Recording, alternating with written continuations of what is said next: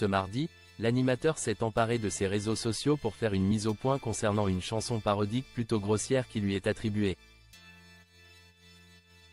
Un malentendu qui a suffisamment duré. Ce mardi, Patrick Sébastien a tenu à mettre les choses au clair concernant une chanson parodique au langage fleuri qui critique vivement le nouveau Front Populaire. Le problème, comme l'a expliqué l'animateur, ce tube douteux lui est attribué sur la toile, alors qu'il n'en est rien.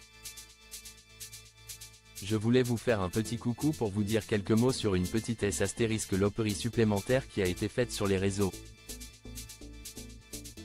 Un truc qui tourne, une chanson qui s'appelle Je crois, ma B astérisque te sur ton front populaire, qui m'est attribuée alors que ce n'est absolument pas moi qui ai fait ça, explique Patrick Sébastien dans une vidéo.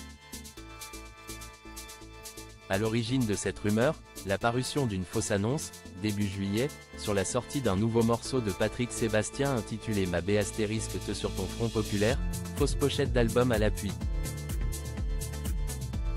Dans la foulée, un internaute serait parvenu, grâce à l'intelligence artificielle, à bricoler une chanson imitant le style et la voix de Patrick Sébastien.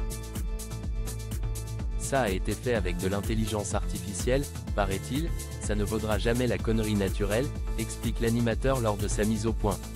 Puis d'ajouter, c'est surtout pas mes valeurs, et pas ma manière de m'exprimer là-dessus.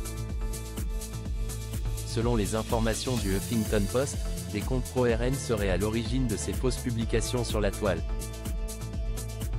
La chanson, devenue virale, charge violemment le NFP en évoquant notamment des antisémites et des agresseurs sexuels dans ses rangs, ainsi que son soutien présumé aux émeutiers qui brûlent Paris.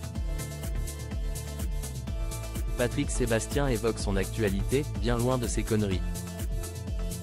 Si Patrick Sébastien a assuré qu'il n'avait rien à voir avec cette parodie, il a cependant rappelé qu'il était actuellement en tournée. Moi en ce moment je suis sur scène, je vous attends un petit peu partout, ça se passe super bien, on est en tournée, on fait juste la fête et on est bien loin de ces conneries et de ces usurpations d'identité, a fait savoir l'animateur. Ça, c'est une info confirmée.